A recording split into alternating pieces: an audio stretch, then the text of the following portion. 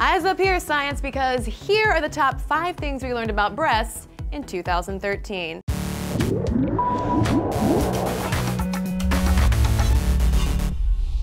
Hi, I'm Cristen from Stuff Mom Never Told You for D News, and this year, scientists put breasts under the proverbial microscope, confirming a lot of things that, frankly, most women with breasts could have simply told them. But where's the fun in that? For instance, first up in this breastacular roundup, we have researchers at the University of Nebraska Lincoln who used eye tracking technology to confirm that people assess women's appearances by looking more at their chests than their faces.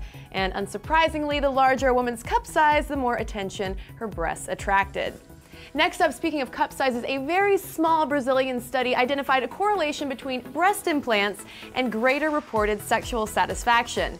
In a no-duh response to the research, Colorado professor of psychology Tomi Ann Roberts said, Feminine heterosexuality is very much about our sense of whether or not we are pleasing our partner. And here we have 45 women who have spent a great deal of money to that purpose.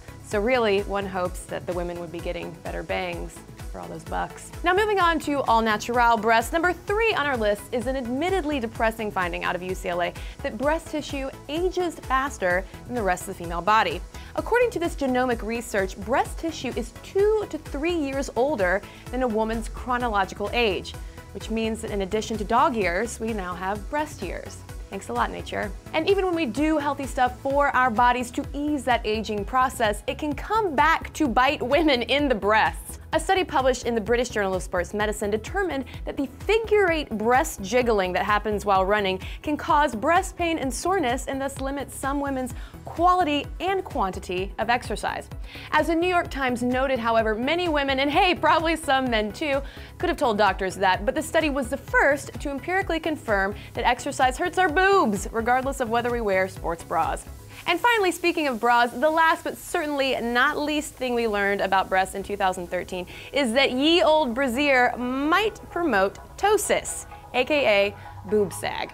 As D News host Laci informed us earlier this year, a 16-year French study suggested that wearing bras may discourage the growth of supportive breast tissue, at least among the young female population he studied. But that lead breast researcher cautioned that women might not want to burn their bras just yet, since factors such as age, smoking, and pregnancy are stronger ptosis predictors. So what do you make of all of these scientific breast breakthroughs? Tell me about it in the comments below and be sure to check out my channel, youtube.com slash stuff mom never told you. And also, don't forget to subscribe here for more D News.